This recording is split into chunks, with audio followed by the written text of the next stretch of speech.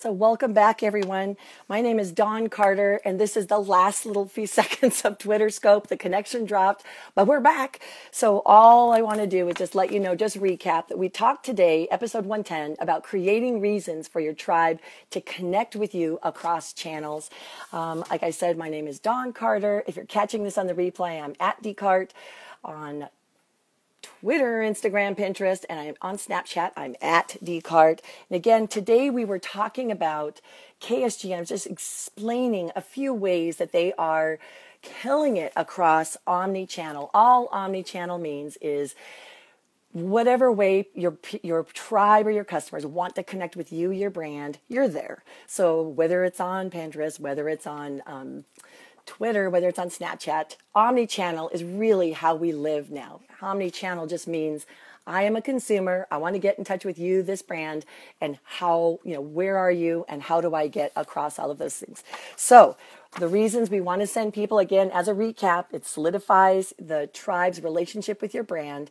It also introduces them possibly to other features you may they may not have known about. Great example if you're on Instagram and people follow you on Twitter and now for you've given them a reason to go over to Instagram. They're on Instagram. Now all of a sudden they're seeing other aspects of you or your brand. That's what I mean by it introduces other features. Twitter, by very nature, is so ephemeral. It just goes all around. Um, it goes away so quickly. So if you send someone to content that's more permanent, like Instagram or like Pinterest or your website.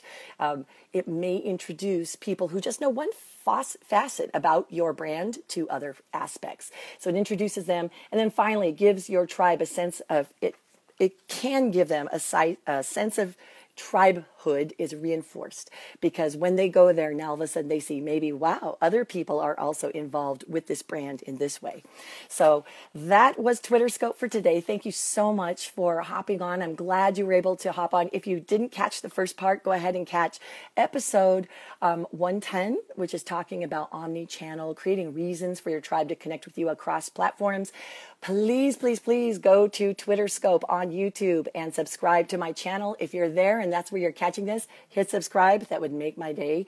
Um, and please join my mother with us, one of my first six subscribers. So, anyway, thank you guys so much for joining me. I'm here every day at around 10 o'clock.